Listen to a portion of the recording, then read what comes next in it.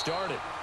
He's had some big runs in this game. Not there, though. But I don't think they're going to be deterred by that play right there. He's had some nice runs in the game. And how many times have we seen...